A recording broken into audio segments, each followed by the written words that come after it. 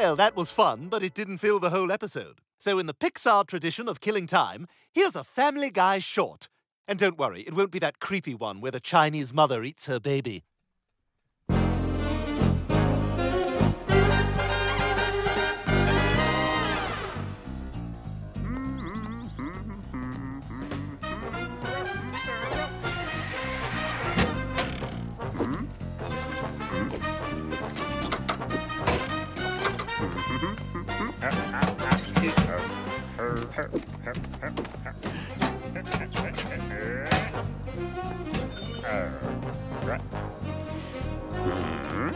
Mm-hmm.